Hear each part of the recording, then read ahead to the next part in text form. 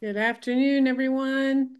So glad to have you join us on this Wednesday afternoon for our Just Communities webinar series. Thank you for taking time out of your day to uh, to be with us and to learn and um, hopefully get some takeaways that will advance your work.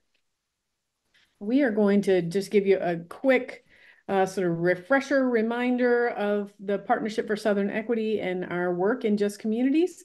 Uh, and then we will jump right into our speaker today. So the mission of the Partnership for Southern Equity is to advance policies and institutional actions that promote racial equity and shared prosperity for all in the growth of metropolitan Atlanta and the American South.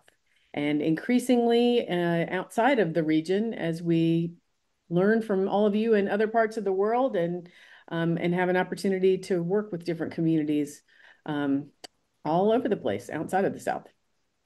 Next slide. The work of the organization really is about disrupting systems of structural oppression. And we do this work in a number of different areas uh, related to energy transition, to land use and development, equitable development, to um, health equity, uh, related to the social determinants of health, uh, to just opportunity, economic inclusion, and our organizing unit uh, focuses on uh, community organizing, and you'll hear a, a, good bit more about that today um, from our guest speaker. And our impact division is uh, the fee-for-service arm of the organization that hosts our research and analysis team and our Just Solutions team. Uh, we also have a, an offering called the Justice 40 Accelerator that is a national um, initiative we um, implement with a, a, couple of different partner organizations. And Yes for Equity is our uh, youth powered solutions arm, which folks who were on our webinar last month had a chance to, to learn from some of our youth leaders. So glad that they were able to be with us. Next slide, please. At this point, if you are with us, you probably are familiar with the basics of just communities, but want to make sure that you um, always have an opportunity to, to reconnect with the principles that drive our work um, as we worked over the last couple of years to take the, the protocol that had formerly been um, known as the Eco Districts Protocol and adapted that, evolved it to what is now just communities. And it was very much guided by these principles that we operate on radical truth and understanding of history. We recognize the lasting impact of structural racism. We commit to healing and liberation. We honor the wisdom of neighbors and the power of community. We assert racial equity as the superior growth model. We commit to strategies that facilitate a just climate transition and we leverage public policy for reform, repair, and reconciliation. Next slide, please. Hopefully this is a, a document that now looks familiar to you as well. This is the, the cover of our PDF version of the Just Communities Protocol 1.0. It is available on our website, justcommunities.info. Uh, and we strongly encourage you to spend some time with this if you are new to this conversation. Um, and we will share a couple of opportunities uh, for getting training um, in the foundations of the protocol at the end of our time today. Um, but but please Im invite you all to go to our website, justcommunities.info, and check out uh, lots of great information and resources related to the protocol. So let's dive into our presenter today. Next slide, please. I'll go ahead and queue up. Um, Marquese is uh, his bio real quickly while we um, shift to his slide deck. So why don't we we'll go ahead and, and uh, allow you to take that down and I can um, can share his bio. So Marquese Kwame Averett, affectionately known as Skinny, which I didn't know before reading this bio, it, it fits, but now I know I'll have a, a new nickname, um, is an organizer by training and an activist by passion. He's devoted his entire life to amplifying the voices of the marginalized. He's received various awards, including the Rainbow Push Trailblazer Award, Omega Psi Phi Citizen of the Year, Firm Grip Achievement Award, and has twice been named as one of the 50 most influential African Americans in Columbus, Columbus, Georgia, I'm assuming. He is a graduate of Fort Valley State University, uh, earning his bachelor's degree in political science. He has worked all over the U.S., lending his voice and his talents to the movement for Black lives. Where there, wherever there is an injustice, he can be found speaking truth to power. And we are just delighted to have him on our team for a little over a year now, I believe. Is that right, Marquese? That is correct. Have an anniversary? That is correct. I've been here a year last week. Excellent.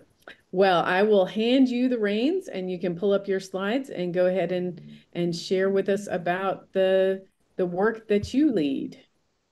Perfect. Thanks so much. Uh, uh to Suzanne and to the others, I don't have uh uh video permissions, but I don't think that that's necessarily a bad thing. So let's start. All right. Can you see my screen? We can. Perfect. Perfect. Well, thanks to Suzanne and to the Just Growth team. I uh, am so happy to see how far uh, Just Communities is coming. Uh, and I am just so grateful uh, to be here and to be a part of of, of such a wonderful program that uh, the Partnership for Southern Equity uh, is producing. Uh, as Suzanne stated, this is actually, uh, I, I, just had a, a year's anniversary. And so uh, I have truly enjoyed my time being with the Partnership for Southern Equity. And hopefully through this this talk, I can help you to um, help help shine some light on the, what is power, uh, how is it manifested and maintained, and then how do you build power through community organizing. So, uh, let's start off with. Uh, we must first understand what power is. Merriam Webster describes power as in ability to act or produce an effect. But here, the Partnership for Southern Equity, we like to describe power as the ability to make things happen. The ability to make things happen. Whereas we look at sustainable change as uh, being created by using our collective power. Uh, so we get sustainable change from collectively coming together and using our power to make a difference. There are three different places that power comes from. You have organized people, which is organized people are a demonstration of their inherent power. Organized money, corporations and political factions influence and self-interest, and organized information, mass media, policies, laws, education. Uh, I thought that that we would actually be able to have a. Uh, uh, if you have a, a question, uh, please feel free to to to drop it down uh, in the chat. Uh, I, I would also like to start off with asking a basic question. Maybe someone can answer it for me. Uh, what is organized people? If anybody can drop that in the chat, what is organized people? And I believe that if folks are unable to access the chat, um, also please just drop things into the Q&A. Yes, please. And to my good friend Denise, uh, a, a, a great advocate in her own right, uh, I am trying to to start my video, but it continues to say unable to start video. Um, and so I would need uh, either Suzanne or or or someone else to to give me power. Organized relational power. That's what Miss Roxanne says. Yes. Let's let let me go back. Uh, So here at PSE, we actually believe in this a great deal. Our entire organization is mostly divided into three groups. We have the, the people who do the organizing, which is the division that I belong to, as well as just energy and just health and just opportunity, just growth, yes, for equity. We all fall under the organized people division. Uh, then we have a operations division where we focus on making sure that we are uh, getting in grants, that we're doing all of the work that the grant agreements uh, require, that we're uh, making sure that everything is going the way that it should be.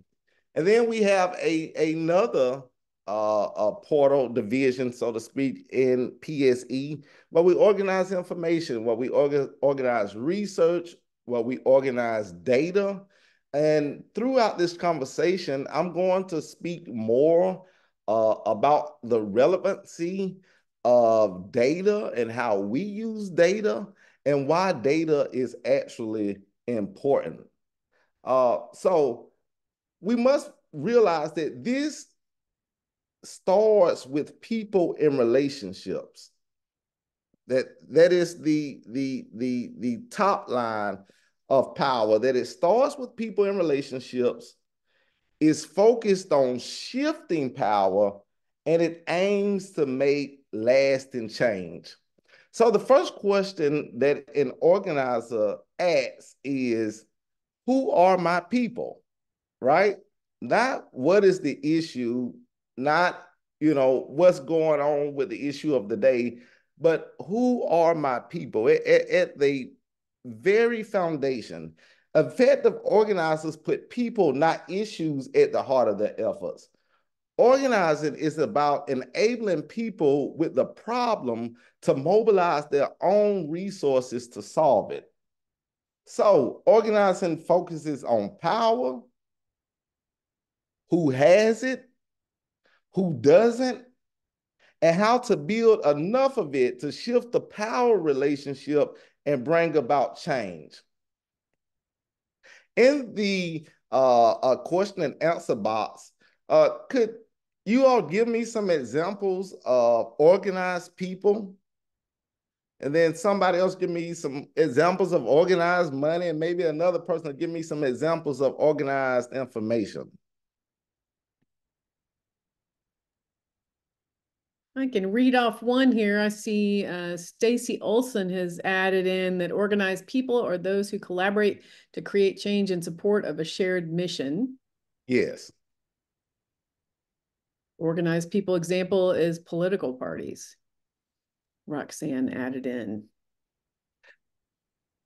That could that that is a, a an example of organized people. Absolutely. And today lifted up, it, it was people coming together to meet a certain collective goal. That is very true as well. So we have a, a, a better understanding now of through Stacy and today and Roxanne giving us examples of what organized people are. So we have a better example now of what organized people are, what organized uh, and if somebody could start to insert uh, some examples of organized money and organized information. So a good friend of mine, Cliff Albright, he oftentimes calls it free power. Uh, Cliff is the founder of the Black Voters Matter movement. And why I believe that uh, uh, that is so important is because it, it, in many ways, it is free power. For us to recognize our agency, for us to recognize who we are and our worth and our value, and to begin to be in community with like minded people, it doesn't cost us a dime, right? Uh, so let's. Uh, Denise says that organized people are sports teams. That can be true and also PACs, which is very true. Very, very true. Uh, if you've been looking at politics since at least uh, uh, 2010, 2011, uh, when uh, Citizens United came into power, where uh, people could, or corporations rather, could then utilize their funds as dark money to put behind any candidate that they wanted to, it really changed the game. So PACs are definitely a way of organized power. So I'm gonna go to the next slide. And I want to talk about how is power exercised. So now that we have an, an understanding of what power is, how exactly is that power exercised? Uh, the first one is coercion, using strength, force, or penalties to get someone to do what they do not want to do. That's coercion, but it's still power. Reward, convincing someone is worthwhile to do what you want them to do. And three, influence, getting others to want what you want them to want. So in the chat, if you will, uh, drop down what you feel uh, is potentially the best form, the, the best way that we can exercise power out of these three choices that we have coercion, reward, or influence.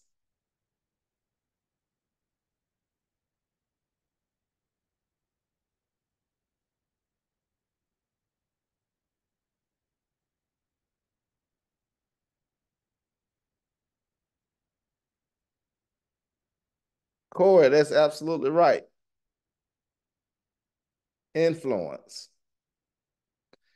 And throughout this presentation, we'll talk a little bit more about how do you influence people, right? So now that we have a better understanding of what is power, how is it maintained, and how is it exercised, we will now move to PSE's own form of organizing, which we call values-based organizing.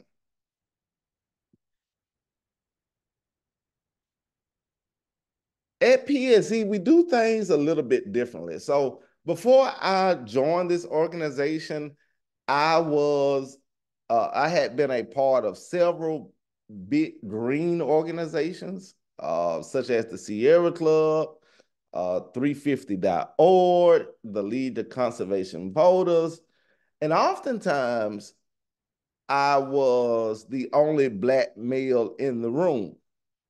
Uh, and if you know about being the only person of the only person of color in a room, it makes it particularly hard to actually have real conversations about race. And so, what I like after being here at PSE after uh, this year that I've been with this organization is that first we lead with race, right? We are not afraid to advocate for our people. The second one is fostering agency. We believe that those who are closest to the problem are closest to the solution, right? catalyze relationships. We believe that change happens at the speed of trust. And to build power, we must first begin by strengthening relationships. And four, leveraging data. We are data driven. We use data to engage and educate communities and decision makers. And so first I, I, want to make sure that that there's an understanding that we should not be afraid to advocate for black brown and indigenous people and i like the word at the end on purpose right because a lot of the issues that we deal with whether it be uh, because of our energy burden or because of uh, health inequities or because of gentrification or the lack of uh, opportunity opportunity to economic uh, or, or, the lack of access to economic opportunity, it mostly revolves around race. That's a great starting point. We also believe that we do not go into communities and tell people what they should be doing. That is not how we organize. Organizing is done by ensuring that when we go into communities, we figure out what exactly uh, they are currently working on, what do they care about, and how can we, in essence, uh, be a part of that work so we can strengthen our relationship, so that we can build trust, and so that we can shift power. And so strengthening relationships is, is a huge thing, not just in organizing, but also in life, is that you have got to have uh, relationships in order to get things done. And finally, our data. Uh, we spend a lot of time uh, ensuring that uh, decisions that we make are grounded in data uh, and that it's not just something that we're haphazardly taking on, but it's something that we understand the ins and outs of. So I guess I'll take another look at our questions and answers in case I missed something. Uh, going back, Stacy said that the reward uh, better for us all to gain benefits from the action. Uh, uh, depends on the issue at hand, depends on the existing relationships, depends on the strategy and points people. Um, excuse me if I mispronounce your name, Buddha uh, says influence, and Roxanne and Danielle Swift are here together, I reckon. So uh, let's uh, if, if you have uh, uh, anything else, uh, please don't hesitate to drop in the uh, in the chat. Um, and now we're going to go to the next slide. So we have a unique way of thinking about uh, the ways in which uh, we engage community. Uh, and so uh, the first one is is that our work depends on people directly impacted by inequitable policies stepping into the agency to engage in decision making at the beginning, middle, and end of a process, right? And so it's not necessarily our job to do the community's job, but our job is to make sure that they have the agency and the resources uh, to be able to organize their own communities. All right. Number two is creating engagement opportunities that shape how public policies and practices will be influenced, changed by the wisdom provided by leaders of marginalized communities. So we want to make sure that uh, that community leaders or, or, community members rather you don't just have to be a, a, leader but that community members that they are uh, getting ahead and in front of decision makers so that they themselves can influence them all right and due to vigorous engagement new leaders civic infrastructure and policy innovations can be realized that support better outcomes throughout the American South. All right. So, for most, and, and I've said this before, but for most of, of, of my organizing career, uh, and I, I, first got my organizing career uh, started uh, uh, in, in, in 2008, uh, helping to collect voter registration forms uh, for President Barack Obama in 2010. I served as the uh, field coordinator and the only employee on the campaign of Columbus's first woman mayor, Teresa Tomlinson. Um, and then I, I, went on and, and, and did a lot of work uh, with uh, some big green organizations, uh, work for uh, for uh, police against police brutality, and a whole other number of things. But there's a clear difference, I think, that should be said. There's a clear difference between uh, issue-based organizing versus value-based organizing. And so I previously, before uh, I got to PSE, I did a lot of issue-based organizing, which is working uh, groups or coalitions advocating for specific issues affecting targeted groups or the society at large. Whereas values based organizing is organizing that first seeks to meet the marginalized group's immediate and felt needs. Uh, and so, a question, uh, the critical question on the screen, I kind of want to turn it on its head and not necessarily ask, are you engaging communities as a missionary or community builder? But in this, I, I want you to drop into the chat is do you believe that communities are looking for a missionary, someone to come save their community, or are members of communities looking for community builders? Can you drop that in the chat for me? Are we looking for missionaries, somebody to come save the community, or are we looking for somebody to, to come and, and help build the community?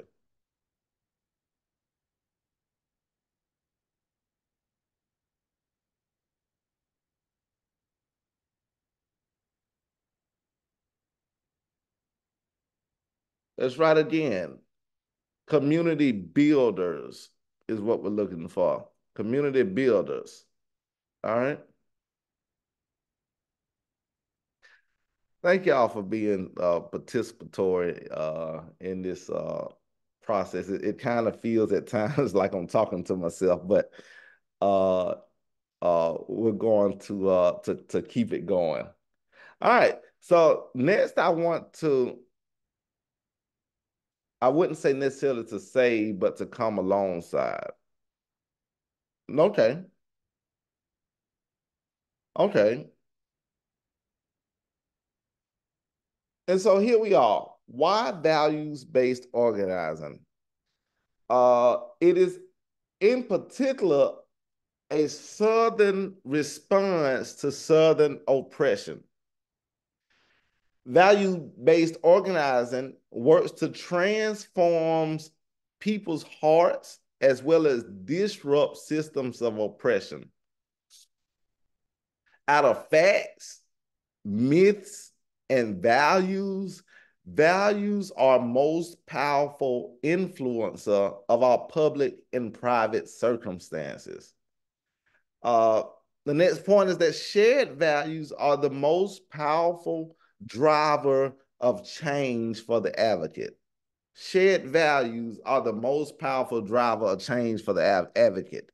The people who shape our pub public values control public decision making, which is public policy. Uh, and so this is why we choose to uh, use a value-based organizing model as opposed to, let's say, when I worked on the Obama campaign, we used a snowflake uh, organizing model. Uh, and so what this does is, is that we organize based on our values right? All right. And I'm almost done, and then we'll get into some question and answers. But the three tenets of value-based organizing. One, that we engage the community. And, and this is also something that we've stated in this presentation before, that marginalized communities directly impacted by inequitable policies must step into their agency to engage in decision-making at the beginning, middle, and end of a process grow agency and power, creating engagement opportunities that shape how public policies and practices will be influenced, changed by the wisdom provided by the leaders of marginalized populations. And then finally, disrupt and, and transform systems. Vigorous engagement, developing new leaders and policy innovations can be realized that support better outcomes for marginalized communities. And finally, a great quote by Dr. King that says that power at its best is love implementing the demands of justice. Justice at its best is love correcting everything that's is love correcting everything that stands against love. Uh, that was no none other than the Reverend Dr. Martin Luther King. And so I'm so grateful to have this opportunity to present to you today uh, about building power through community organizing. Uh, we've talked about uh, what power is, how power is maintained, how power is, uh, where power comes from, uh, um, how power is exercised. We also talked about uh, PSE's uh, model of organizing, which is value-based organizing. Uh, we talked about the way that we engage community from our side. And so at this point, I would love to step back. I would love to take any questions. I would love to uh, talk about our organizing model. I would love to talk about power. I would love to talk about what your organization, uh, what your organizing model is doing, and uh, see how uh, this can be helpful in your communities all across the country. Thank you so much, Marquese. Um, we'll let us see if we can fiddle around with some tech um, to be able to possibly enable the chat. I'm not sure that we have ability to make any of these kind of changes once we're live, unfortunately. Um, but let us uh, try to at least think about that for a next time around so that we can get a little bit more interactivity. Um, I would love to have folks drop uh, yeah, some more in the chat. I know um, we have a handful of folks who are taking advantage of that. We'd love to see more of you from the audience jump in there. Um, maybe share where you're coming from. What is the community that you are working to organize around? Um, what are the, the values that drive your own organizing work? And, and are there things about this uh, value-based approach that, that strike you as something different, something you'd like to learn a little bit more about? Maybe any pointed questions for Marquese? And I see uh, one question here. How do we manage power once we have it? Like, how do we not become corrupt? Wow, that is a that's a powerful question there. Marquese, you want to take a take a swing at that? Yeah, I would love to. Uh, I, I think that uh, one of the things that that first came to mind when I read that is having the ability to be accountable to someone, right? And so I think that the way that that that we not become corrupt uh, is uh, uh, is making sure that we are holding ourselves accountable to the people that first gave us the power in the beginning. Uh, there's a quote that just says that power tends to corrupt, and absolute power corrupts absolutely. and so I think that it is incumbent upon us to make sure that you know, even when we're building power within communities, uh, we must ensure that our power comes from that community uh, and it's not something that we necessarily can tackle alone. I feel like I've just made a huge word salad. Uh, but uh, but but I, I think it's just it, it's incumbent to make sure that that we are accountable to communities who give us power in the first place. Uh, Melanie Mead, many nonprofits claiming to serve underserved and EJ communities need those who are already taking actions be upheld and supported. I agree with that. I live in Clairton. This is Melanie. I live in Clairton, Pennsylvania, home to the largest USX coking plant that most people only talk about now because of the political politicization of the Japan Nippon steel seal. USX has murdered our loved ones for over a century. It won't stop unless the current local government is exposed and removed. They are the ones accepting the good old boys' ways. Thank you for that comment, Melanie. Marquese, I made you a co-host. Can you see if you can turn your camera on?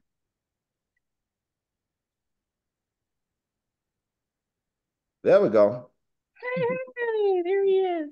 I get to see this uh, million dollar smile. okay, so Lisa Ann McConnell says in a world of inaccurate data and data sharing challenges, what are your thoughts re thoughts reliable data sets and how best to avoid communication challenges that come from data? Well, I, I think in a number of ways that that people can weaponize and use uh, numbers in a in a very in, in very different ways, right? Well, well, you can say, you know, well, well, let's take for instance a politician.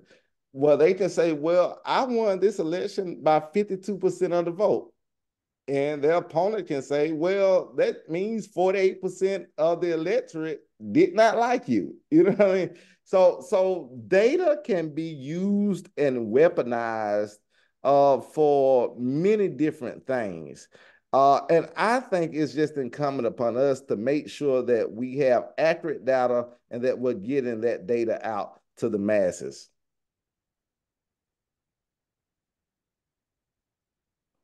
Any other questions? Please feel free to drop any questions into the uh, into the chat. Anything about community organizing, building power, uh, community organizing models,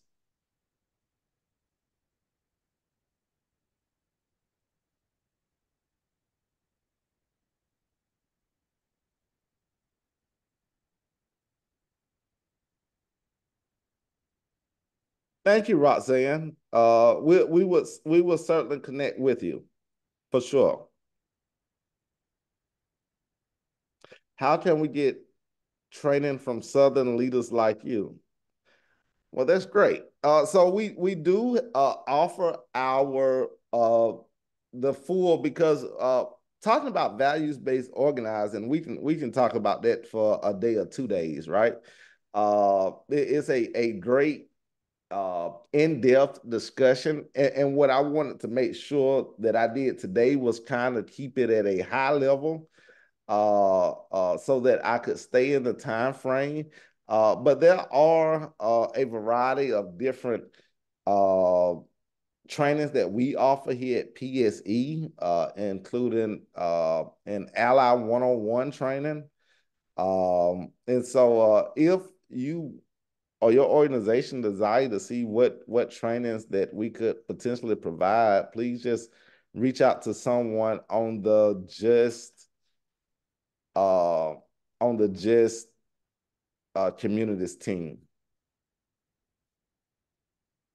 Marquese, I see that Lacey Dawson added a, a question in here on how you come up with values agreements. You can oh, talk oh, about the process a little bit. Oh, that's a great question. Uh I actually I don't want to start to uh I, I don't want to start flipping through this slideshow. Uh but we actually uh have a template of, of of coming up with values agreements that I think would be very helpful. Uh and I am also willing to share that out.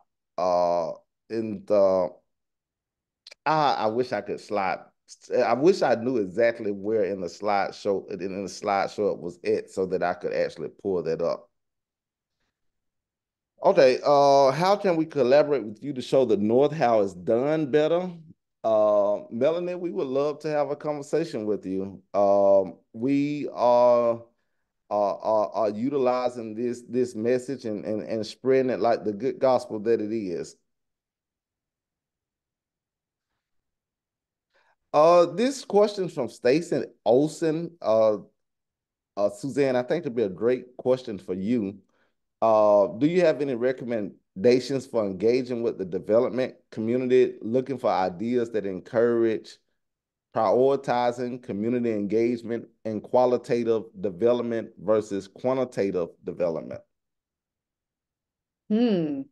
Yeah, that's a good one. Um, you know, I would I would definitely say, yeah, recommend finding some common allies who are the the sort of uh, partners that you may have in common with some of the developers um, that are working in the community, whether it is uh, through some sort of professional association locally, maybe through an elected official who is representing the area where um, where that development is happening, or or even um, elected folks who are representing other areas that may have have worked with that developer in the past.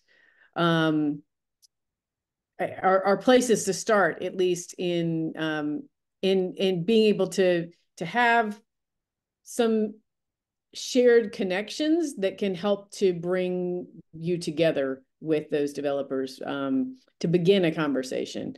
Uh, and I think that as Marquese referenced, we've got some good templates that that we could definitely share with you around um, some of the the ways to begin those conversations, some of the um, sort of exercises to to try to establish the shared values that you may have between your members of a community and um, and a development professional. Um, certainly trying to learn from communities that have interacted with that development um, organization or professional in the past as well to know um, you know, in a project in another neighborhood, what were some of the the common ground areas that were found? What were some concessions maybe that were considered? Uh, what were some areas that were non-starters? Um, so I, I think those are a few things that come to mind um, that that maybe start to get into a more qualitative conversation. Um, we definitely, you know, we we know that um, that development is a is an industry that is driven very much by numbers and by budgets um, and time and um, and yet we do advocate so strongly through all of our work um, for for rethinking the the investment of time in really meaningful engagement as something that will pay dividends in the long run so we do think that uh, that there there are some paths forward here. We'd love uh, to be able to to get some some more content in your hands. Definitely reference uh, the protocol. We've got um, some some great action guides related to the actions that are laid out in the protocol. Um, so those are the things that I would sort of recommend as a start. Um, let's see, and I see our scholarships available to frontline community members. That is always an opportunity. So please, um, if there's a particular training that you're interested in, Melanie, that that uh, you would like to explore a scholarship, just feel free to reach out to us, and we're happy to um, happy to work with you on that. Uh, let's see. Marquese, you want to jump in on the next one? Adina White? Yes. Uh, hello, I'm Adina White, and I'm based in Central Arkansas. I founded Black Belt Media to organize information by telling stories of change makers and social impact organizations across the South. Thanks for sharing such valuable content. Well, thank you, Adina. Uh, Taylor, thank you for this. How can you ensure your work isn't duplicating existing efforts? And is this the best use of community resources? Resources. How do you recommend getting started? Well, I, I think that that question is kind of very broad, uh, because in some instances, well, I want to first start off by saying that our value-based organizing training is something that the Partnership for Southern Equity came up with on its on its own, uh, and so that it's a it's a framework that only that that we made up and that uh, that we utilize. Uh, so I don't believe that we're necessarily duplicating uh, a work, but I do believe that a lot of the work that we do uh, it will overlap. Quite honestly. Uh, and uh, when you ask how do you recommend getting started, I, I, I really don't understand the end part of that that question. If you could just drop in the uh, chat exactly what it is that that you're trying to start, I could I could further answer that question. Um, and Melanie, you're very welcome. Thank you. And uh, Suzanne, if, if Taylor wants to to uh, insert the, the rest of that question inside of uh, in in the chat, I would I would love to answer that before we go. Uh, any other questions? Uh, we have a few more minutes, if so.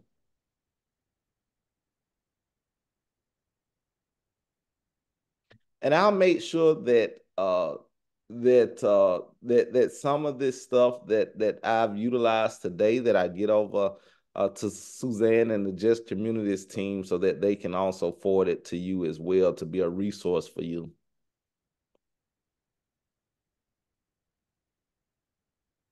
Excellent. And we are always recording our webinars and um, and loading those to YouTube. So uh, those are available if you you have colleagues or other partners that that you think might benefit from having um, a recording of this to share with them. Please don't hesitate to uh, to share those links. We'd love to bring more people into this conversation. And Marquese, would you, let's see, uh, let's see. Oh, Taylor did clarify. Want to have the opportunity to start a communities initiative. Just wondering whether you have any recommendations on how to determine the best way to get involved in your community.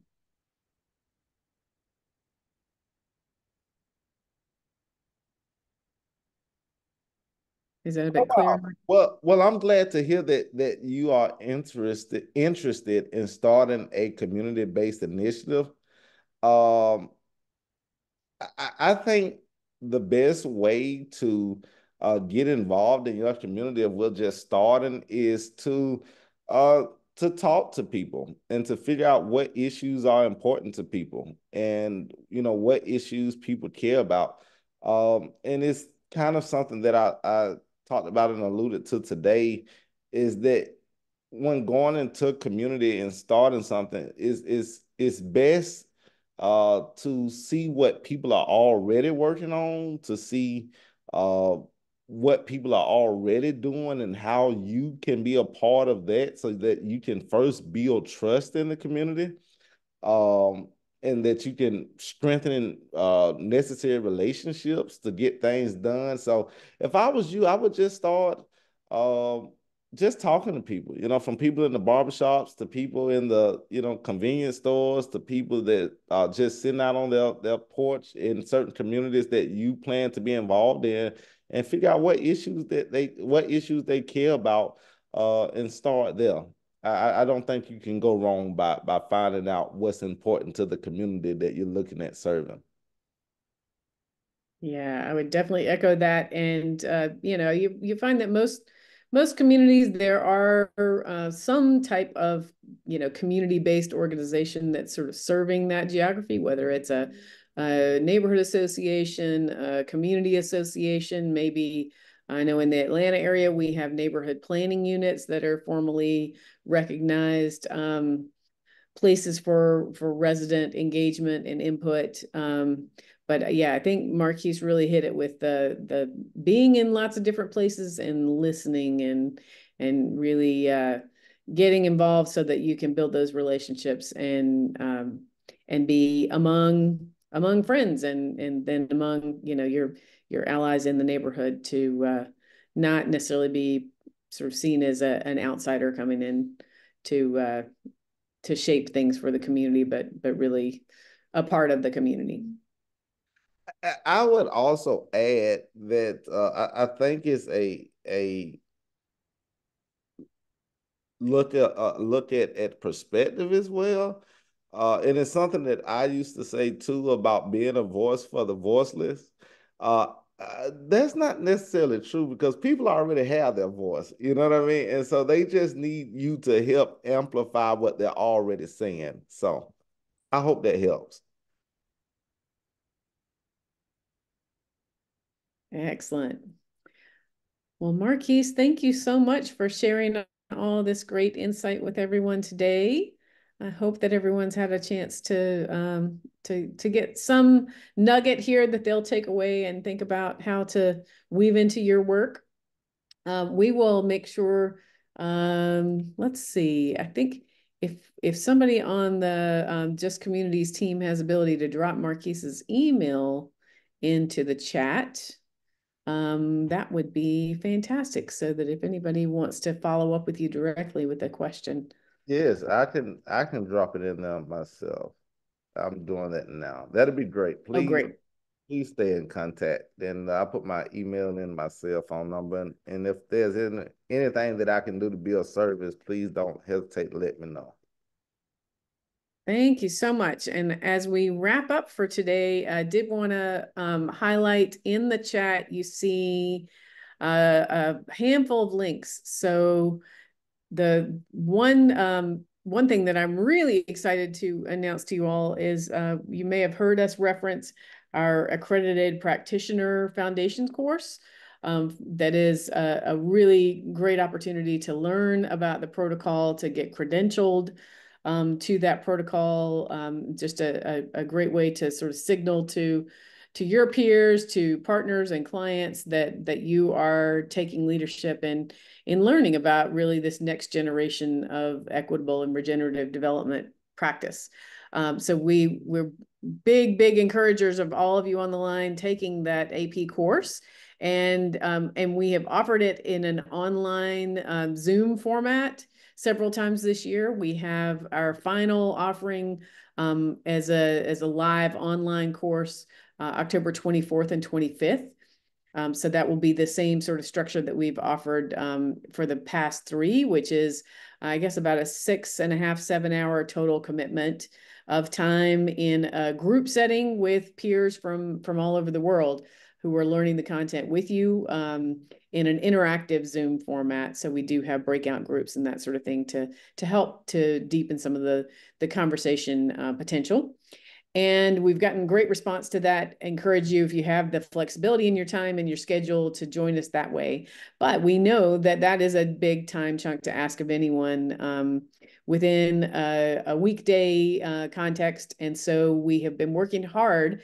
Um, our team at, at uh, PSE and Just Communities um, to develop a self-directed version of that course. So some of you may be aware there was um, several years back a self-directed asynchronous version of the eco district um, credential course that was developed. So we have now um, built upon uh, that idea and taken the the current just communities ap course built it into uh, a, we hope what we'll find to be a, a really engaging experience uh, that you can do on your own.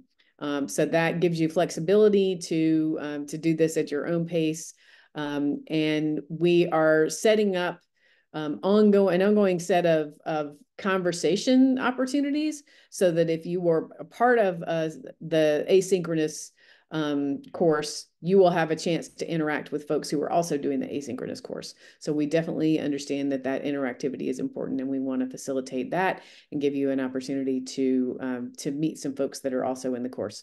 Um, so so stay tuned for the the first sign up for the the interactivity um, reflection time. But the asynchronous course is live, so please, um, if that's an option that you prefer over an online Zoom, take a look at our website justcommunities.info. You'll find that information. Um, let's see, we have the registration link for the live course um, is in the chat as well. I believe, yes, the Eventbrite um, link there. And we have a registration link also for our October webinar. Um, so we will have a guest speaker joining us from Demos. Um, her name is Aklima Khondoker, and she is a, um, a voting rights attorney and um, strategist for Demos. And we really look forward to hearing from her. In the the what less than two weeks before the next election. So um, so uh, please stay tuned for that. Uh, go ahead and click the link to register if you are able, and we uh, we look forward to having you be a part of that. Um, I see Marquese has put your uh, email address in the chat and your phone number, so thank you so much. Um, Absolutely. Let's see. Hopefully, if anyone joined after some of these links were added to the chat, I don't know if you'll see them, um, but you will. I'll go ahead and repeat a couple of them so that uh, they don't get lost. Um, and if you're ever in in uh, in doubt, please don't hes hesitate to reach out to us. I just realized that I neglected to introduce myself at the very beginning of this thing. I'm Suzanne Burns, and I lead the, the Just Growth portfolio at PSE, and I have the the honor and pleasure of working with folks like Marquese and uh, Jasmine and Elaine, who are helping on the backside here today. Um, with uh, Hadejo and Rob. Uh, we have a, a, great team. Colette is working with us as well.